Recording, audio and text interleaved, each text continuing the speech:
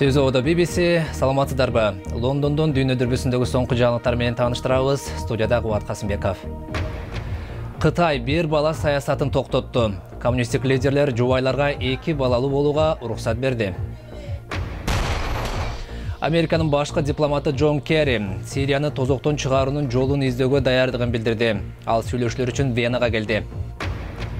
Жер шары үчүн пайдалуу жана кирешелүү долбоор таштандылардан туристтик борбор жасап чыккан тайвандык үй бүлө менен баарлашабыз.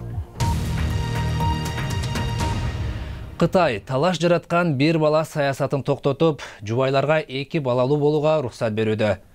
Бул эреже бир миң тогуз жүз жетимиш тогузунчу жылы калктын санын тескөө үчүн киргизилген. Мындай билдирүү өлкөнүн экономикалык келечегин талкуулаган коммунисттик партиянын төрт күндүк жыйынынын акыркы күнүндө жасалды чоң чоң энесинен баштап беш муун чогуу тамактанууда. Кытайдын бир бала саясатынан улам бул үй бүлөнүн бир гана жаш өкүлү бар. Менде экинчи жолу балалуу болууга мүмкүнчүлүк бар болчу дейт жаң синпиң бирок ал аргасыз боюнан алдырган. Андан аборттон баш тартууга мүмкүнчүлүк болгон жокпу деп сурасак ал же өз ыктыярым менен боюмдан алдырмакмын же өкмөт мажбурламак деп айтты кытайдын чыгышындагы рудоң аймагы бийликтин бирден гана балалуу болуу саясатын тыкыр көзөмөлдөгөнү үчүн бир нече жолу сыйлык алган. Бирок рудоң өлкөдөгү эң көп карылар жашаган аймак болуп саналат. Гао дэчун жалгыз жашаган карылардын бири. Анын уулу иш издеп алыска кеткен. Гауда көп балалуу болгусу келген жана жубайы аргасыз боюнан алдырган карыянын өз санаасы бар.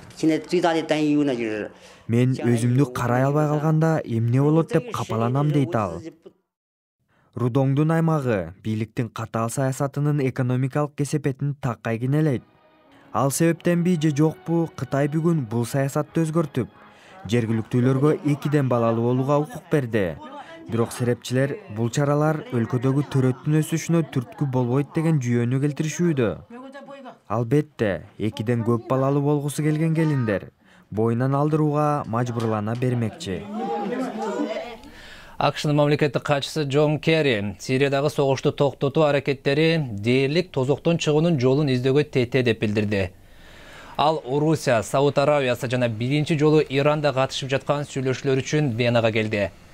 Сириянын президенти асадтын колдоочулары менен анын каршылаштарынын ортосундагы ажырым сүйлөшүүнү оорлотот деп күтүлүүдө бирок керри бул жыйынга үмүт артып турганын айтты.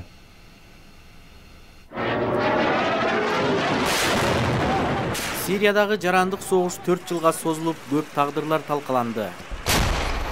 Акш сириядагы согушту токтотуу үчүн козголоңчуларды колдоп дипломатиялык аракеттерин да күчөтүп жатат.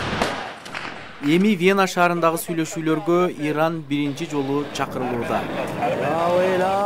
акшнын мамлекеттик катчысы джон керри жолугушуудан кийин сириядагы тозокту токтотуу үчүн жаңы долбоор жарыяланат деген үмүтүн билдирди. Ал сириядагы абалды жайгаруу жолун табуу оңой болбойт бирок учурдагы сүйлөшүүдө маселени бир жансыл кылып чечүүгө мүмкүнчүлүк түзүлдү. Азыр сирия талкаланып жатканын мойнубузга алабыз деп айтты.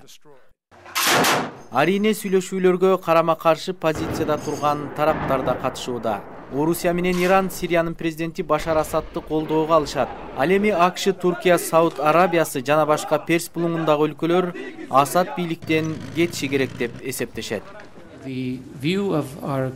Биз шериктештерибиз менен иран жана орусиянын ой пикирин угалы деп чечтик. Алар чынында сириядагы кризисти жөнгө салууну кааласа биз да өлкөдөгү гуманитардык трагедияны токтоткубуз келет. Атуулдук согушта эки жүз кырк миң тургун каза тапты. Төрт миллион адам чет өлкөгө жети миллион алты жүз миң адам өлкөнүн ичинде жер которууга мажбур болгон. Бирок азырынча сүйлөшүүлөр натыйжалуу жыйынтыкталабы же жокпу бүт үмүт бойдон. Сиз түз ободо bbcни көрүп жатасыз. Эми күндүн башка кабарларынын тизмегине токтололу. Сауд аравиялык блогер раиф бадави европарламенттин адам укуктары боюнча сахаров сыйлыгына татыды. Бадави исламга шек келтирди деген жүйө менен миң жолу камчы жазасын алып он жылга абакка кесилген. Европарламенттин президенти сауд аравиясынын королуна кайрылып блогерди дароо бошотууга үндөдү. Акшда кийинки жылдагы президенттик шайлоого республикачылардын атынан катышууну көздөгөн талапкерлердин кызуу дебатында экономика маселесине басым жасалды алдыда келаткан дональд трамптын көрсөткүчү мурдагыдан азыраак болду. Жалгыз айым талапкер карли фиорина өзүн демократтардын өкүлү хиллари клинтондун эң чоң баш оорусумун деп мүнөздөдү google интернет байланышын жакшыртуу үчүн стратосферага үч жүз гелий шаарларын учурууда. Компания үзгүлтүксүз байланышты камсыз кылуу үчүн кийинки жылдын соңуна чейин дүйнөдө мындай баллондордун шакекчесин түзүп чыкканы жатат бул сыноого индонезия үч уюлдук оператор менен катышмай болду. Шри ланкада долбоорго кошууну көздөй турганын билдирди. Эски нерсеге жаңы жашоо тартуулоо бул түштүк тайвандык джон ламоринин хоббиси болуп саналат. Ал жубайы шелли экөө тактай бөтөлкө жана гезит сыяктуу таштандыга арытылган нерселерден өзүнчө бир ферма куруп чыгышкан туристтер көбөйгөндүктөн бул үй бүлө хоббисин бизнеске айлантууну чечкен экен. Айрымдар таштандыга ыргытканды башкалары байлык катары карайт. Джон ламори дал ушул таштандыларды колдонуп бизнес баштаган. Джон чогулткандардын баарын курулуш материал катары колдонот. Мисалы мектеп ыргыткан доскалар имараттын чатырын кармап турат жана ресторандардын столуна айланган эң кызыгы джон эски гезиттерди суу жана цемент менен аралаштырып кирпич жасайт. Джон аны менен үй салган.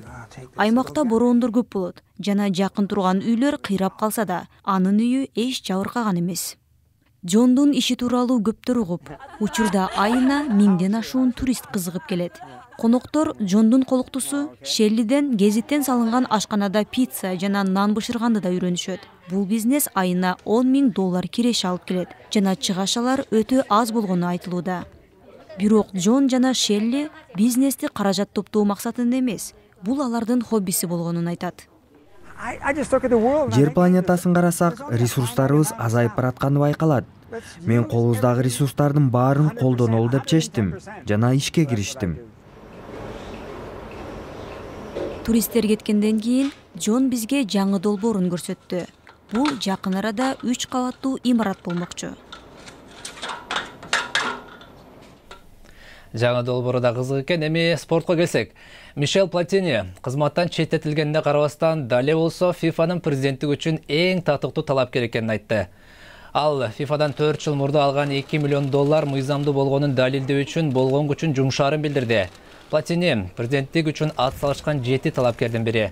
Бирок шайлоого катышуу үчүн аны кызматтан четтеткен чечим жокко чыгышы керек. Бокско келсек мени пакиао флойд мойвезер менен кайрадан беттешүүгө аракет кылып жатканын айтты. Кылымдын таймашы атыккан май айындагы соңку беттеште пакиао мейвезерге утулуп калган. Ал экинчи мүмкүнчүлүккө үмүт тартып турганын айтты бул аптанын башында мейвезердин басма сөз өкүлү отуз сегиз жаштагы боксчу спорттон кеткенин жарыялаган. Жакында эле формула бирдин чемпиону атыккан луис хэмилтон унаа жарышынан башка спортко да шык жөндөмү бар экенин көрсөттү. Британиялык спортчу мексикадагы авто жарыштын алдында мехико шаарында эжесиз мушташ мелдешине катышты. Ал өзүнүн өнөрүн көрсөтүп көпчүлүктүн жарпын жазды. Хэмилтон упай боюнча формула бирди утканы менен жекшембидеги жарышта да жеңүүчү болом деп турат.